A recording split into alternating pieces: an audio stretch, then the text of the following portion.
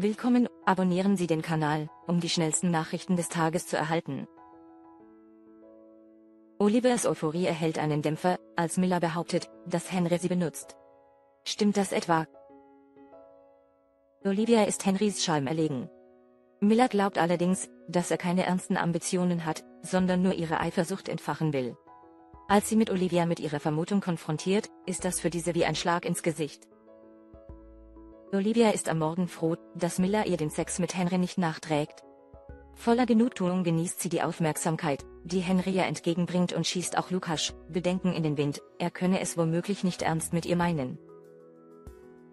Währenddessen muss sich Henry von Miller den Vorwurf anhören, er wolle sie mit Olivia nur eifersüchtig machen. Das streitet er jedoch vehement ab. Bei einem spontanen Date lässt sich Olivia immer mehr von Henry um den Finger wickeln und schläft ein weiteres Mal mit ihm. Als Miller sie am Abend zur Rede stellt und behauptet, dass sie nur ein Spielball in ihrem und Henrys Machtkampf ist, fühlt sich Olivia unweigerlich gekränkt. Vielen Dank, dass Sie uns folgen.